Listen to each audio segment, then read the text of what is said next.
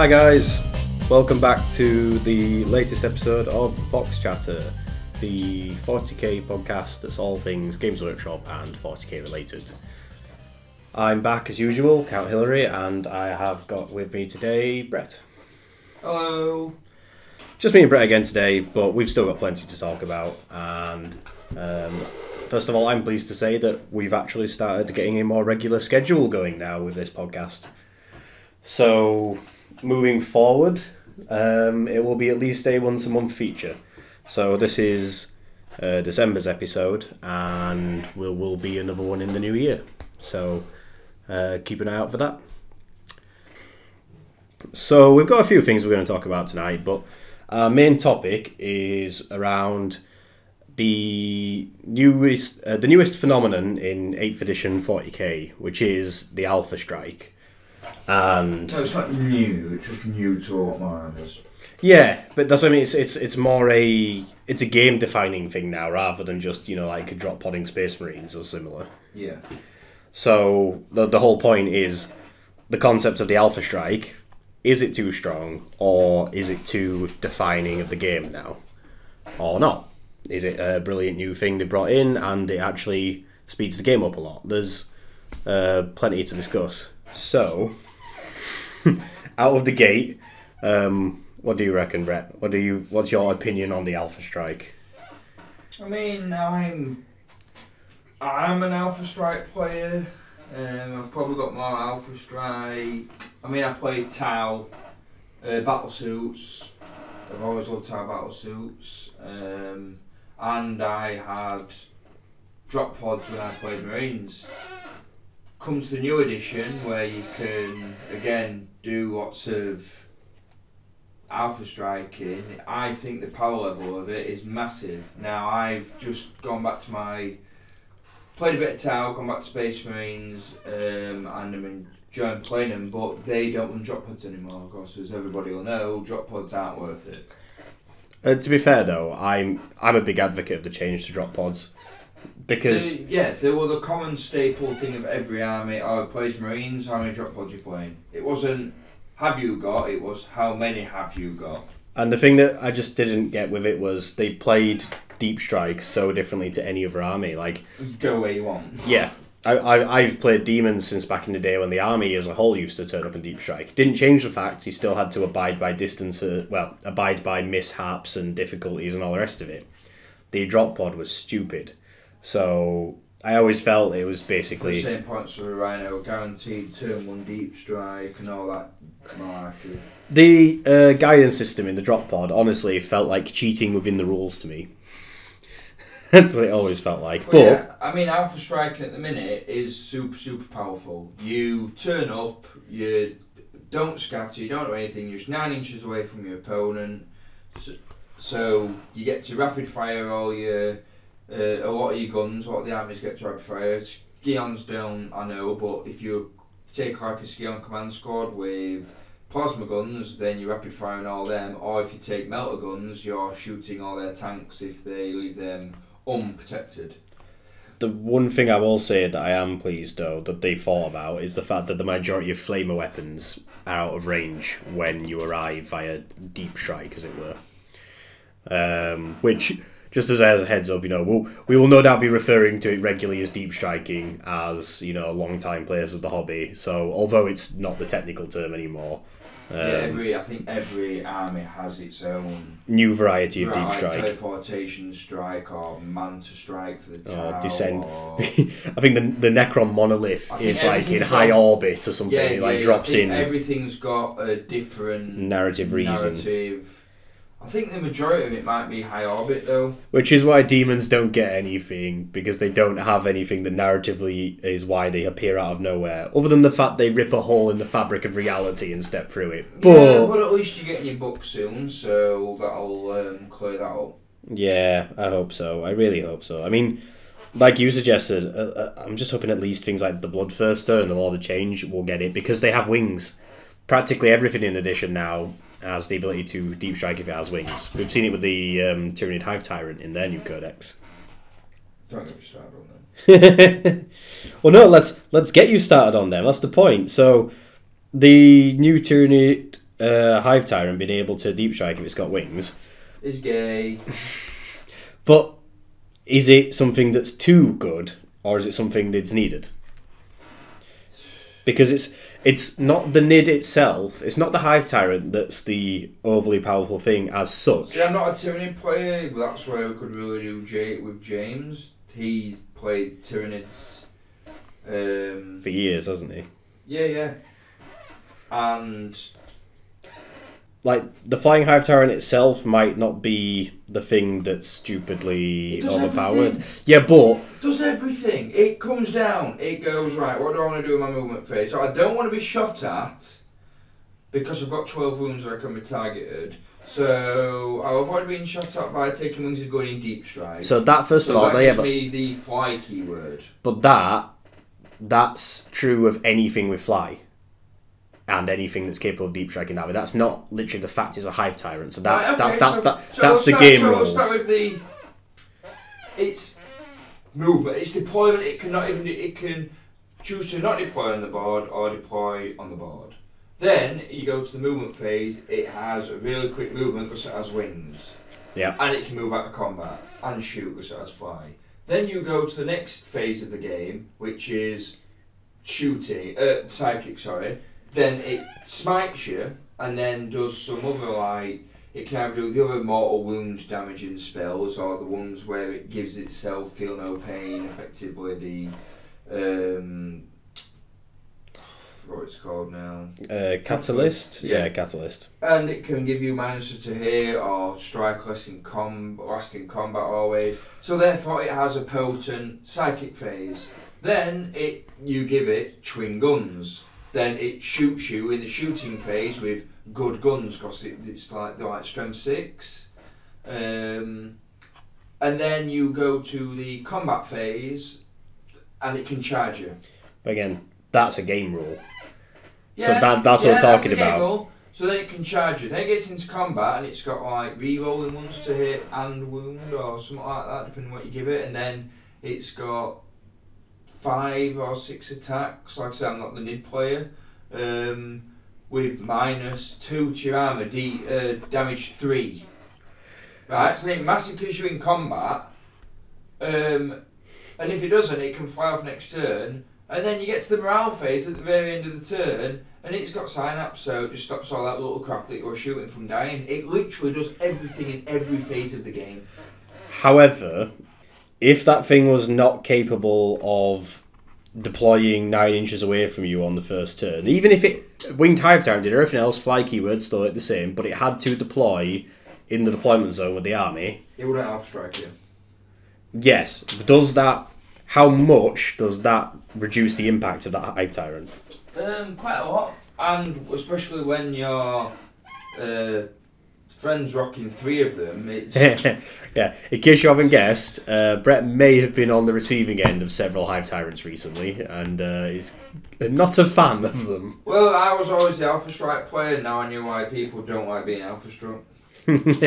No, I mean I, I enjoy it. I you know it, it, it's a legitimate tactic. It is turn up, blow away the opponent. You know, It just very much at the minute seems like you have to build your army in one of two ways. Am I alpha striking? No. Therefore, I need to be prepared to be alpha struck. So you need to either have, and even with two alpha strike armies, you know, it tends to be the person. Whoever goes first gets alpha struck because you can both hold all your dirty units in reserve. but all that until- happens is they have to put theirs down because they're there turn three Yeah. before you. everything starts happening on turn three rather than turn one. But otherwise, the little things that were on the ground were just exchanging fire in the meantime. Yeah.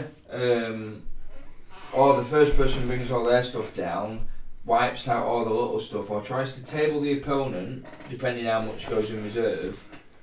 Or then you get the two armies that um, are prepared to be alpha struck, so your two grindy armies, and they actually then just play out a good game.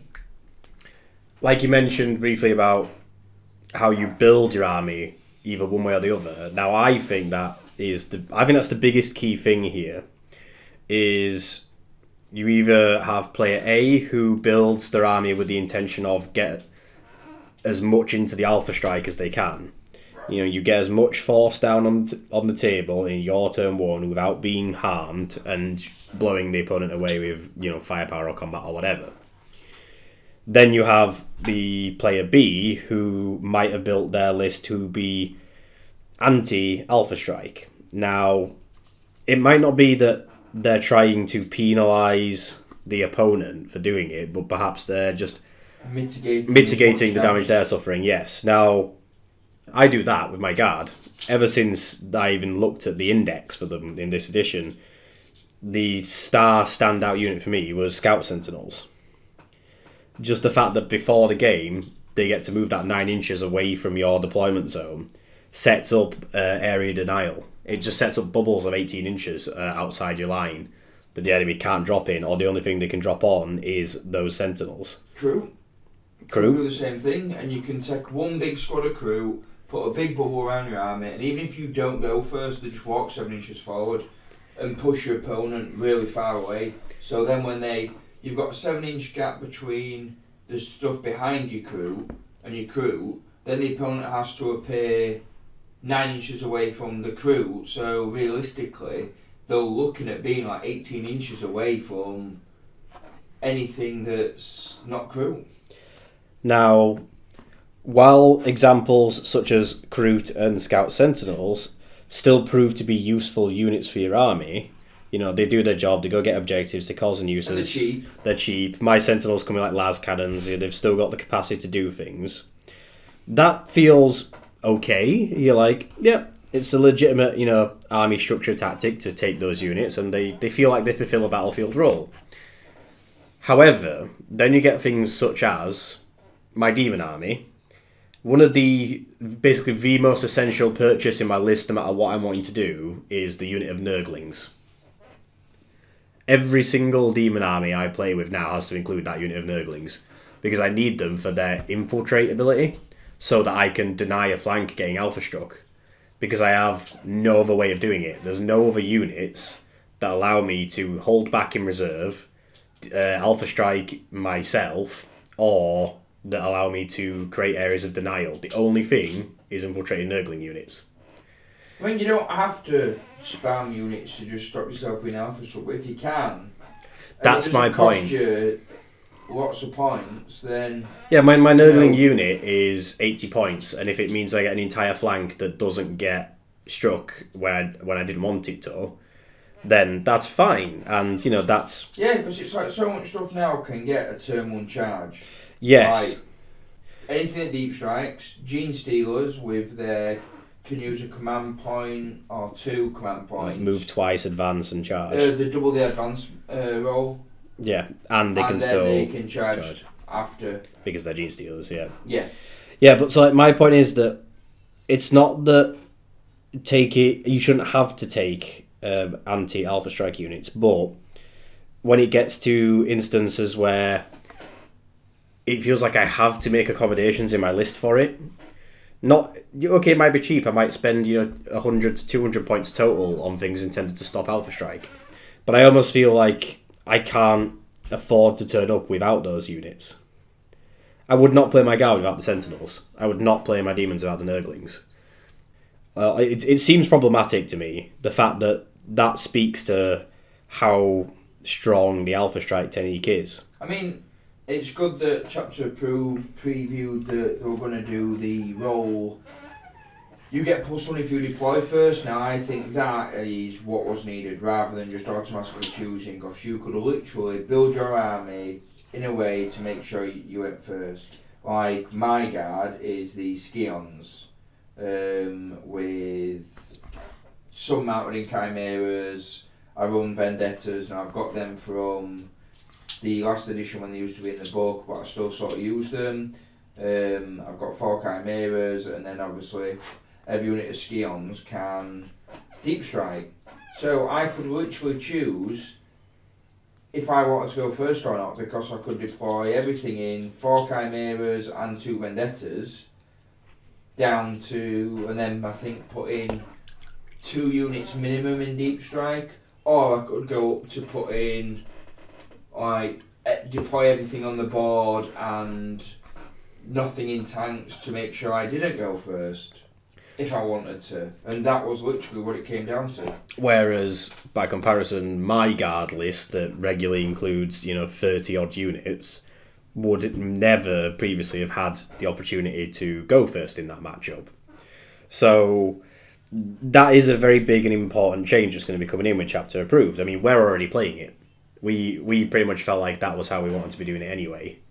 Um, it felt like a not so much fairer, but it just added more variance to games because that that in-game rule change massively impacts army building, Yes, it does.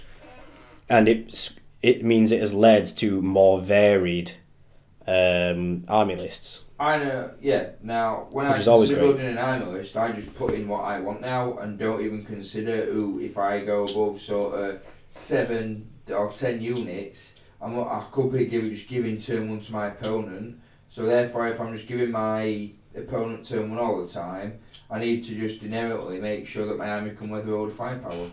Yeah. Um, Whereas now you go, mm, I don't necessarily need to do that. I can work it out when I sit down against my opponent and just go from there. It did feel strange to me that whenever I sat down across the table from an opponent with my guard, I knew I'd be going second. It's like, if I want to play this army, I am never going first. And it felt weird to think, I'm now playing a, an entire edition of 40k where I never go first to this army. I never get to fire with my basilisks and my Leman Russes before I get shot at. I never get to do 100% uh, firepower. Now, in a game, that's fine. You know, if you look at it as a single game and go, oh, in this game I didn't get to fire everything unharmed, that's fine, because next game I might do. But in a world where that wasn't the case, it felt weird to think that I never would fire all my weapons un- uninjured. All right, my Tau, where it basically went first every single game and was that devastating that it's like, wow, so turn one's just like cripple my opponent. Now, one of the reasons. And there isn't even. And doing that, I didn't even. I didn't feel good about myself. Nah. You So felt like you'd opponent been too a mean. load of models, then within half an hour I'm telling them to take them all off. Yeah, it's almost like, why did your opponent bother showing up? Yeah, cheers pal, I just wanted you to turn up so I could um, see how many models I could make you take off in a turn. I thought that'd be really interactive. as you sort of alluded to earlier when you're saying you've always been an Alpha Strike player, sort of like predating it as a thing in 8th edition, that's because you've played armies such as, you know, drop podding Deathwatch, um, entire formation dropping Tau lists and so on. In As a play group, it's nothing new to us. We're used to having that sort of experience. However, this is where I feel 8th edition it raises the question of if Alpha Strike is too strong or too influencing on the way the game plays. Because now it feels like it's that every game. It doesn't matter who I sit down against or what army they're playing. It feels like one player is in some way going to be initiating an Alpha Strike against another. And that wasn't the case in seventh. It regularly felt like there was some kind of slog involved across the table, whether it be flying your flying units turn one, but they had to start in the deployment zone and get there, or whether it was jumping in your Wave Serpent or Rhino Rush army and riding across the field. Yeah, you. They always seem to feel like there was some level of. You had to get of there. yeah, you had to get there. But I've also played against uh, my one of my mates. Is dark. One of his mates, Lewis. He's got a Dark Angel army. Um, he splits it half Deathwing, half Ravenwing, and you know one half his army kind of Alpha Strike. So his Terminators drop in, and are there to do a threat, shoot you up, get into combat if necessary possible, and be a distraction and just get that damage there.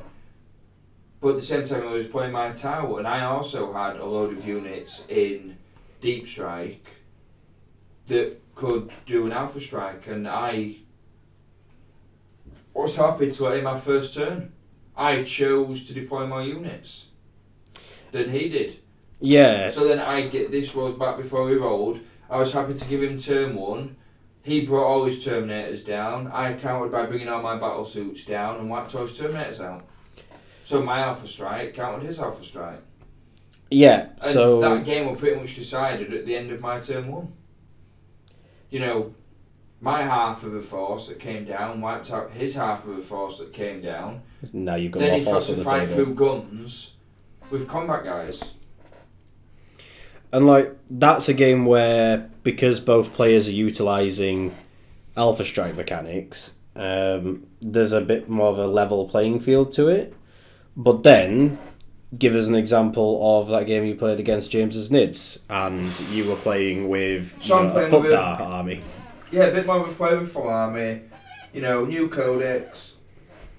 You've heard me before in previous videos say I had Wave Serpent army. I've got bored of that. It's got stale. I've played it for the past probably eight years or however long. So I thought I'm gonna play with an aspect army. So Caught the did Young King. every aspect shrine, caught the Young King style avatar, got a couple of Wraith Lords in there, you know, really mm. sort of more flavoured than powered, really.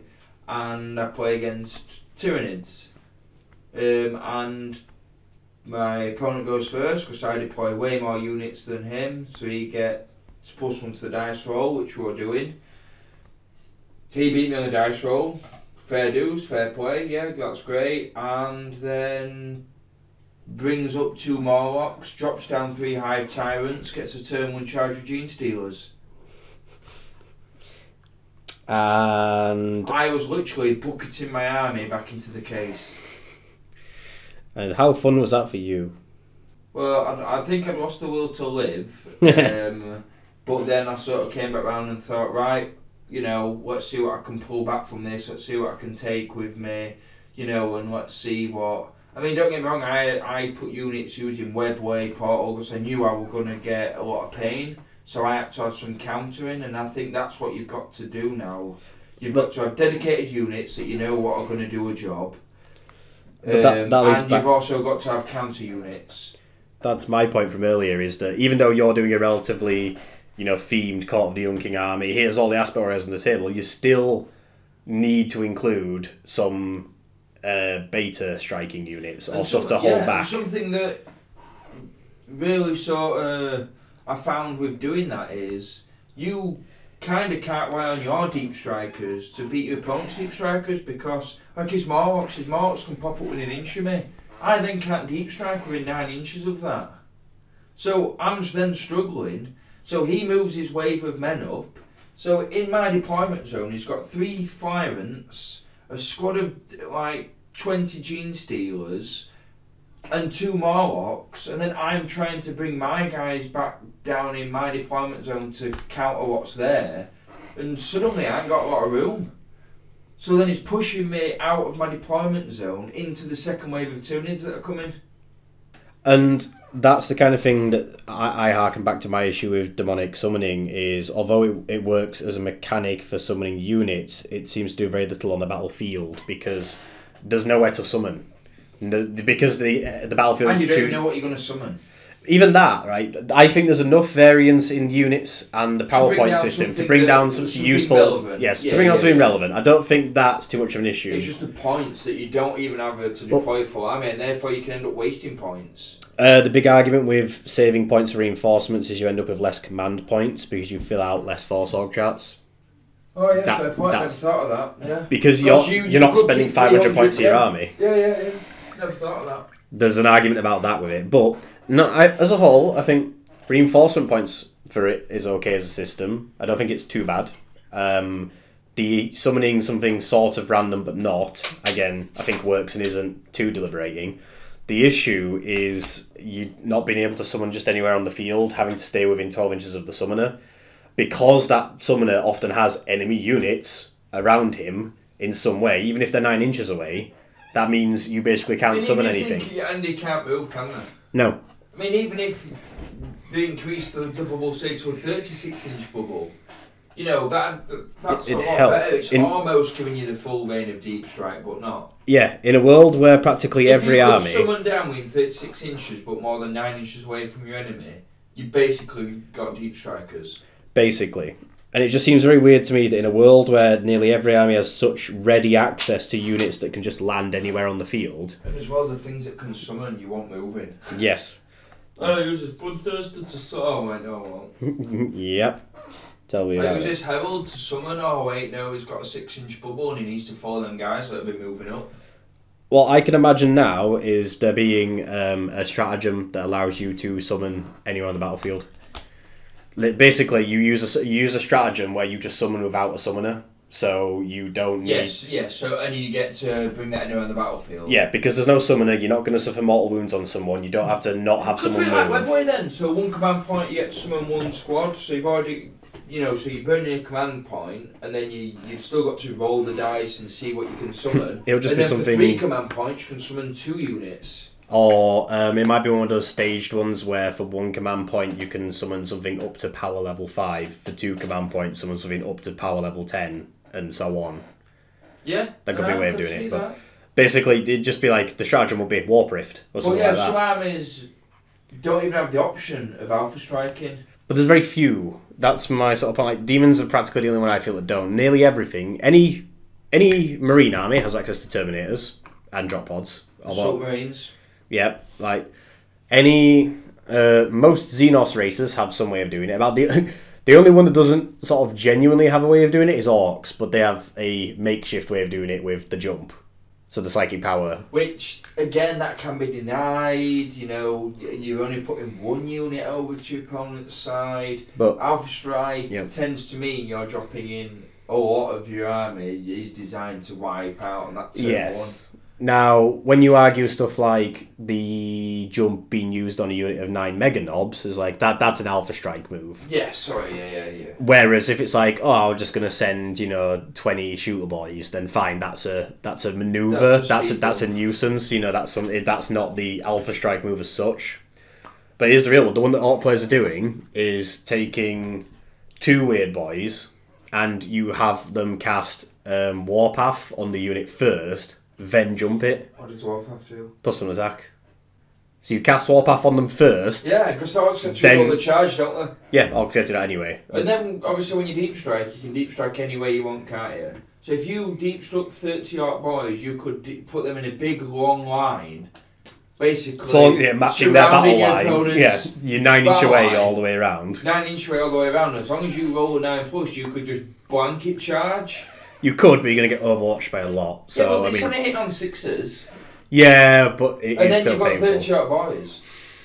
And then use blanket strike. And Yeah. if they don't wipe out all your boys in the way you remove your models, you know, you can break coherency and stuff, and then you just tie up a load of units while the rest of the army moves up. And then you get to do that each turn. So whereas the orc player isn't literally going turn one, here's everything. You go turn one, here's a mob, I'm going to teleport to you. Turn two, here's another mob, I'm going to teleport to you. Yeah, yeah, yeah. So even orcs have a way of doing it. It's just a little uh, unorthodox, which is very characterful for the orcs. Dark Eldar, I don't know what Dark Eldar have. Um, mandrakes can do it. They just appear within nine inches. Uh, you've got your Scourges Deep Strike. Yep, Scourges, Deep Strike, because they've got wings. It's the, the rule of wings. Uh, Hellions, I can't remember if Hellions can Deep Strike. No, uh, I don't I, know. I think they can because skyboards have practically always been the equivalent of jump packs mechanically. I think Hellions might be able to do it. I'm not. I'm not certain. Don't quote me on that one. I don't know, but. Um, but even that, just just those two units, Scourges, Mandrakes, that's two things for starters that the army yeah, just has. are they Alpha Strike units? They're not. Not really. Is it a Flyrant? No, it's it's no Flyrant. Exactly. Why is that thing toughness seven? One has it got a four pinball? Yeah, the Because it needs to do everything ever. because it's the Hive Commander. Now, it's a it's a big change from previous editions. The fact that being able to deep strike and charge, like that would have been unheard of in sixth or seventh edition. You know, that's the key thing to me. Like, seventh edition Tau were very much still capable of deep striking a big force of battle suits and shooting you. You know, Deathwing was still capable of dropping in and shooting you, and so on. But the fact that you're able to make charge moves off it is the real clincher now. That means that so many armies have access to this kind of technique, and that's why it's very prevailing as a form of gameplay. Now, you play so like it's almost like a game of rock paper scissors as to whether or not a game's going to be fun or not. I think that's the key issue here. Um, you and you and Lewis played with two forces that have strong alpha strike elements. It was a good game as such because there was counter tactics involved. There was decisions to be Lewis made. Yeah, Lewis himself didn't because he was, it was a learning experience for him. Was that game? But the point is, as army lists, there's an interaction between them both because they're both trying to be the one Yeah. who lands the alpha strike correctly. If you've got two players that have built, um, Well, I've, I've played th- my last three games have been the three scenarios. So Tau versus Dark Angels. alpha strike v alpha strike, Then I play. Uh, Nids v Eldar with your variety of Eldar, Yeah, so I'm sat there being Alpha Struck. with the army that isn't alpha striking and has to, and as such takes some elements to prevent the damage, but really you are suffering. Then I play Dark Angels versus Minotaurs, which is my Minotaurs have no capability of um, stopping being Alpha Struck. They can just weather a hit. The Yeah. Marines, it's mostly Primaris, so you know they've got to start doing two wounds on guys before you start losing firepower and that sort of malarkey. Um, And then you and the then I you played against play somebody else with uh, Imperial Astra Militarum versus my Minotaurs, which neither of us um, Alpha Strike, and you've got Alpha Strike counter ability, which also gives you some flexibility for playing me, But it's and I've not. just got a bit of durability. Yeah, so what's happening is you're being all- durable to the low number of guns I have on the table initially because I'm holding guns off the table to avoid being alpha struck. That isn't happening. And what I've found out of playing all them games, I mean, Yeah. I've So enjoyed playing my Space Marines. of those four games, rate them now as the favourite to least favourite as the four games. So my favourite would probably be the game that we had. That was very slugfest, pulling myself back from, you know, being behind. So the Guard v Minotaurs with no real alpha strike elements for either army being the most enjoyable game. Yeah. The second enjoy most enjoyable game would be the Space Marines again versus the Dark Angels. So being Alpha Struck and Using an sort of army. knowing I'm going to be and sort of being prepared for that and setting up my defence accordingly and then countering that at strike Yep, with the way I set up and the way you've built your list. yeah. Third most enjoyable game, Talbot's Dark Angels. Um, there was a, en- enough going on in that army where, you know, some deep strikers came down and dancing around and counting each other and what have you. The thing that sort of took it away from me was when you realise, obviously, when you play an Alpha Strike list, you expect to do a lot of damage, but when you literally, like we all play friends, but when you literally looking up from the board and you just see the other person not having fun, it, it takes away your fun and you kind of like, yeah, what, what what am I actually achieving here? Am I actually wanting to smash my opponent into the dust or am I wanting to have a decent game with a friend? And then the last game was where I got smashed into dust by a friend. Because and that was not you were fighting an alpha striking army with a army that wasn't remotely set up for, For uh, defending striking or defending. Yeah. You know, no, some psychic defense that, that just gets removed, got removed really easy. You know, master and six shots against toughness three, and just all that, just like everything just wrapped up to be against me in every situation. The one thing that good that came out of that game is the Avatar of Khaine is a boss. so just to analyze that for a second, then it's interesting that I rate the two Alpha Strike games as bottom of the four games. yes, and yet the third tier choice, where it was the two Alpha Strike lists playing each other, still had some level of enjoyability to it. It wasn't a this was a terrible game and I didn't want to play it. But one opponent, it seems, was definitely not enjoying the match as the as one other, and it was there was still a very tactical edge of gameplay to it. But despite the fact it balanced as gameplay, it had less of enjoyment. But I mean, out of all them four games, there was only one match which had no element of Alpha Strike, Yeah, which is like, wow, that that's such a big thing of the game now. and that's the key It- it- issue. and, that, and that's where it comes back to it's Is be it too Alpha defining? Striker or be prepared to be Alpha struck. Yes, and is that healthy for the game or not? We're not sure. Like, you know, please leave some comments and say what, Yeah, give what- us your how, opinions. how you feel on it, what your opinion is. the key takeaway here is we're not debating the power level of Alpha Strike. It's, it's it is definitely a powerful thing to be doing. It's a powerful technique. But If- should the outcome of a potential game that can have seven turns be decided after one turn where you potentially haven't even had a go? Yeah, You know, should the outcome of the game really be decided after only half of a turn?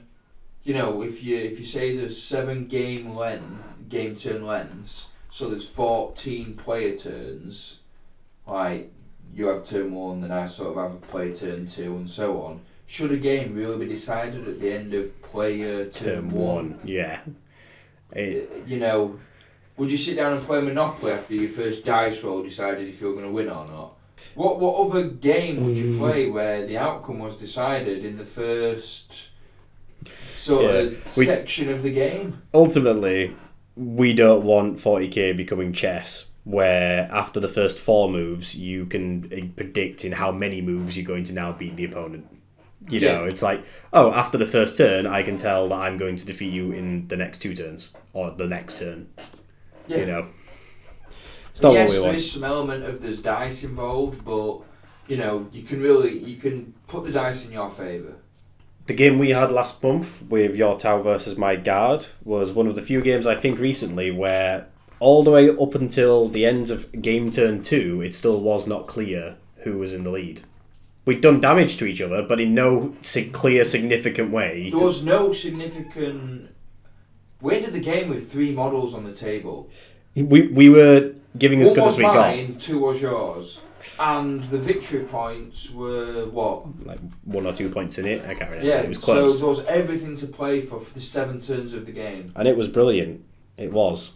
Not, oh look, um, no, after oh, two look, I'm turns I've to drop my 2,000 point force into your 2,000 point force, wreck you that much that I've just destroyed a thousand points of your army, good luck. Yeah. Now, basically, after deployment, you're playing a thousand point army versus 2,000 points. You're never going to win. You're not, you're not going to win with a thousand points versus two if you took that much of a loss. You know, and then you're there's also the element of with Alpha Strike, you're pinned in your table edge. You're pinned in where you were. You know, you haven't got that maneuverability to move out, get them other objectives. You know, because obviously your opponent who's Alpha Striking, you still got had to deploy at least half his force on the table. So that ends up being like their wave two. So Yep. they Alpha Strike you, keep you distracted with them Alpha Strike units, and then everything else that deployed runs around, grabs objectives, puts in the firepower, or once you've finally dealt with the Alpha Strike stuff, then comes in as like, right, now you've got to deal with us. Or you didn't deal with the Alpha Strike units in time, now we're on top of you. It, it's a very strong tactic, and I think it's potentially too strong. I think it may perhaps be warping how the game is played is the issue. It's not whether or not those things in themselves are too strong, but whether or not that side of the gameplay it it turns the game too much into did I bring the right army to play this game or is this now just a formality that I'm taking models off the table when my opponent asks me to. Yeah, you don't want to be. I, I- don't want Warhammer to get to the position where you're literally your friend likes a list. It's like "Oh, I've read this cool list. It's something you know that I've, I want to play, and then I just go and there's literally no point me playing you. Yeah, as cool as that list is, mate. There's probably no point in asking me. I'll play it. Yeah, sure, I'll play it, but it's not going to be enjoyable. And I know you're going to win from the outset. I'm going to try and win because that's what the game's about. But pretty much, I know I'm, you know, So, perhaps to close off this segment, I think um, our verdict is probably that Alpha Strike is too strong a technique unless both players are playing it, and in which case it's a bit more of a Oh. a balanced thing. But unless you can set up a good defense. yeah, And again, terrain comes into it, and there's. It's easier to be the attacker uh, than the defender. Yeah, that that's a small point definitely to worth mentioning is I think terrain plays a big role in how effective alpha strikes are, and I think tournament scenes. I understand why this is the case for event organisers and so on. I don't I don't think tournament tables play with enough terrain for this edition of 40k. No, you need the line of sight look and stuff. As cool as it is to have a load of nice windows in buildings and get stuff looking nice, you might as well basically play with no terrain. Yeah, For some of the purpose of what the terrain does, yes, it gives some of your models a plus one cover save, but for all intents and purposes, you might as well not play with terrain. You might as well just set up on an open board and go, right, we're playing in no man's land. yep. I can shoot you, you could shoot me. Who gets to shoot first? That's the important rule. Yeah. But one thing we are looking at doing in the future, now it might be a long time away, it might be within the next 12 months, we're hoping to get some games up on the channel. Yeah, the the format might be a little undecided initially, but that's definitely something that we were looking to get um, up and running within the next six to twelve months for definite. You know, We hope we're trying to get stuff painted, uh, we, terrain and armies. Um, we would we'd like to share with you our experience of the hobby as well. You know, we don't just want to come across as people who brag on tournament scenes because it's not how we play. Well, we'd like to share how we play. You know, yeah, definitely. we we, we enjoy it, I and we think there are those of enjoy you out there. watching other people's games while I paint and model. So you know, it'd be good to to give something back to other people that paint and model, and it's it's another way of It's sharing and engaging in the hobby. It's inspiring. I find watching other people play on painted tables with fully painted armies inspiring for me to do the same. Yep, I totally it, agree. it, it sort of shames me into painting. when you see some of the a nice battlefield and nice models on it, you know, rather than grey a sea of grey plastic. So, we'll move on to um, a certainly a more enjoyable segment. Um, one of our favourite uh, segments on the podcast that we do every month, and that is favourite moments, favourite war stories, and um, those glorious little moments when things just go right against the odds. At one time, uh, on Warhammer, yeah. on my dreadnought, playing the Dark Angels, where Bile cut out my warlord's head from his armour, just in one You know, fell because as as he's tending to do. Uh, five three up saves to make using the Indomitus armor, and I failed three and just each died.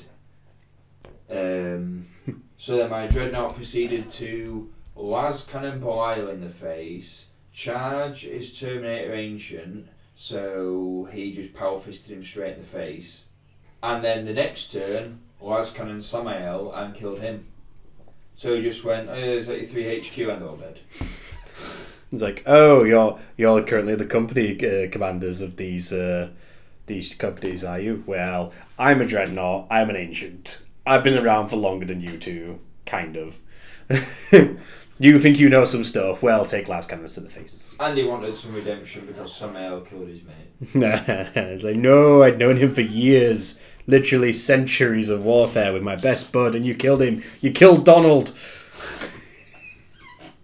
So yeah, th- yeah, that's probably my best moment from recently. My dreadnought that just saw red um, las cannon everything that moved. Taking out both Sammael and, And Belial. With a las cannon. Me and Belial were the best one. He- One las cannon hit got straight through and I rolled that glorious six. Can Can you imagine the like sergeant had to report back to Azrael after that battle report? Well, he had one biker sergeant that survived the game. So that one Raven Guard guy has to go back to Azrael and go. So both the second captain and the first captain are dead. Oh, did they die gloriously? No, no. They they, they got both got lascannoned by this one dreadnought. it, it was it was even calling me out and he's like, uh, so you're gonna do anything honourably and you know like assault the dreadnought into Belial or Sammael I might know. Nope, Just not that's las good. cannon you. then if you survive, I'll uh, charge you with the dreadnought. Belial just died instantly. I was too busy gloating about killing my warlord in hand-to-hand combat, and I was never been beaten in hand-to-hand combat, so that's kind of do. so, oh, you're so great in close to con- co- uh, close quarter combat. Well, you know what? I think I'm not gonna do engage you in close quarter combat. Take, take these lascannons to the face. Well- that other guy who stood behind you with that big banner, who isn't gloating about how good he is in combat, I just squish him with my fist. By the way, it's venerable dreadnought. Yeah, I, I, well, you would be at this point.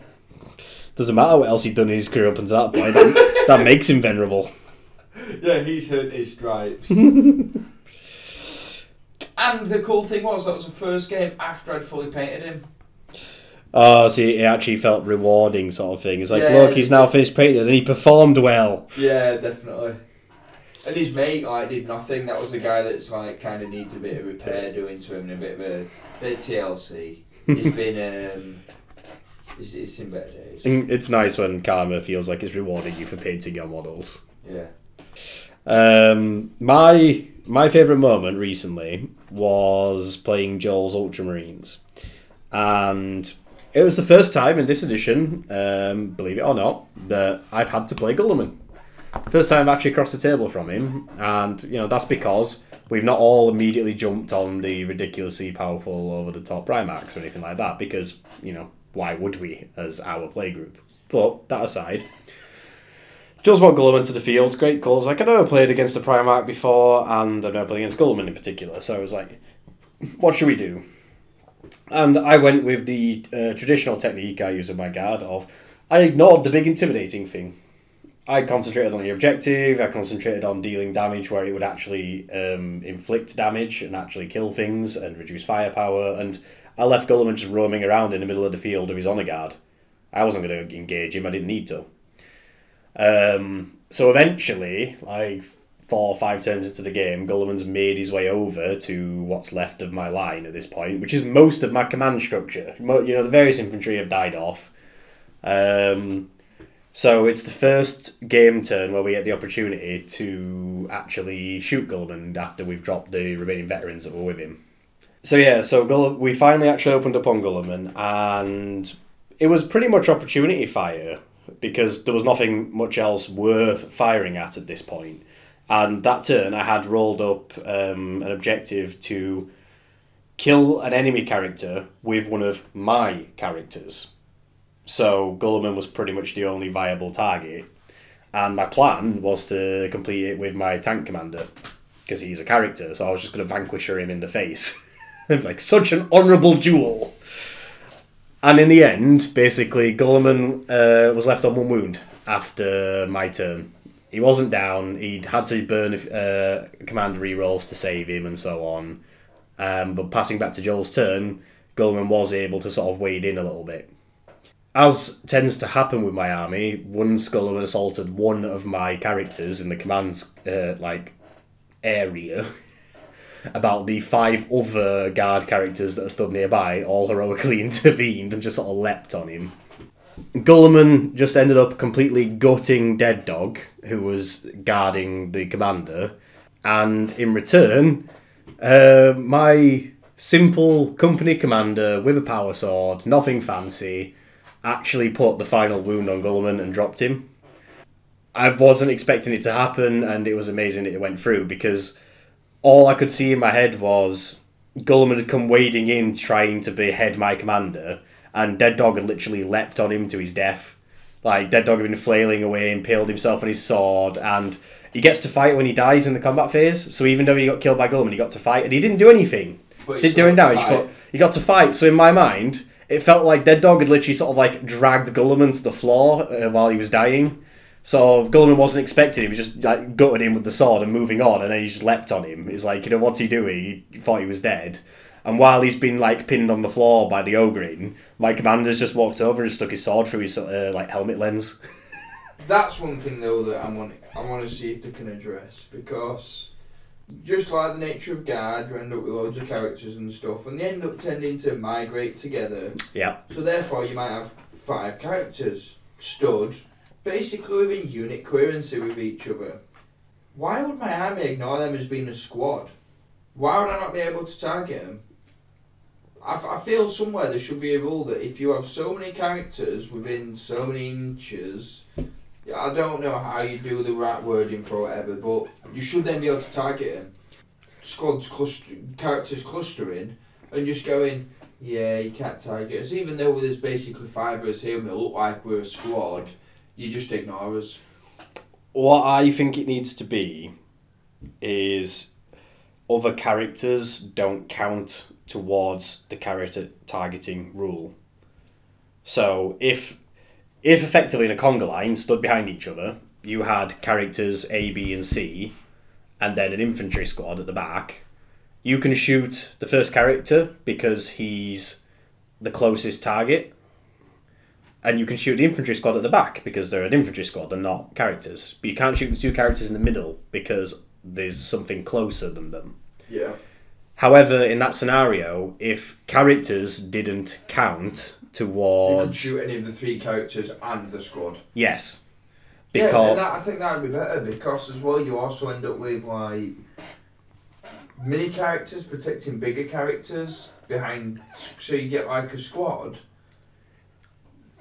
So you might have like a squad of ten guardsmen, then a primer, then a, a sanction psyker, or Wyrdvane psyker, and then your primaris psyker. So I've got to kill the squad and then the Wyrdvane psyker to get to the primaris psyker. And it's like, mm, I'm pretty sure that you'd be able to, you know, target characters if, you know, like you say, they're closer to you than a squad of 10 men is. If there's a squad of 10 men in front of you and there's two men stood behind it, yeah, I get that they're just going to blend in together. If there's two guys in fancy armour, you know, bellowing orders or seeing, you know, you're gonna be able, they're gonna stand out more than the ten guys that they're stood in front. and then you end up with silly circumstances such as the Eldar Avatar, which we know why for legacy reasons because of the scale of the model that's not been changed in 20 years compared to the same scale models it stands next to. It's an eight wound model.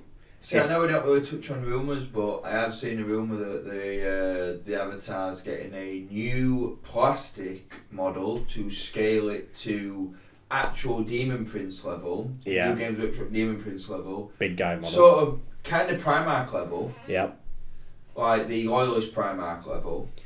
Which, if which would then is going to change its rules it'll come with updated data sheets um, so on. to bring its rules up to being able to be targeted. Apparently, like from yeah, from what I've heard, more to the lines of the Hive Tyrant on twelve wounds. Yeah. Because that would make more sense. Like, It's a big flaming monstrosity. That yeah, that, towers over elves. which looks nothing like the other things around it. Because there's some argument for the Hive Tyrant is a big towering monstrosity in an army with big towering monstrosities. You can target the Hive Tyrant though. It's got twelve wounds. A carnifex then, if there was a ca- if for example, if it was a character So, uh, it's got eight wounds. Yeah, yeah. yeah. like you know, for example, uh, Old One Eye, I assume was a character and um, will have eight wounds. I don't know, but you know, he could be an example of you know, he's a carnifex roaming around with a bunch of other carnifexes. So you might not inherently identify which one he is. But yeah, the um, the Eldar Avatar, the Eldar argument God of the Avatar demon- of Death well, and War the and Destruction. Demon Princes. Yes, I do think Demon Princes are a little odd. Like the way, Mm, the a big, great big Nurgle demon prince with wings. Does he stand out more than them Death Guard? Yes. He's got big monstrous wings. No, because as he doesn't. We've discussed this. No Nurgle Demon Prince has big monstrous demonic wings. Everyone you ever see has piddly tiny little flappy things built on its back just so it counts as a winged demon prince. So I know what you're getting at, yeah, but but you don't see any other demon prince. You'll never see Nurgle. um, but all these issues might soon be getting addressed.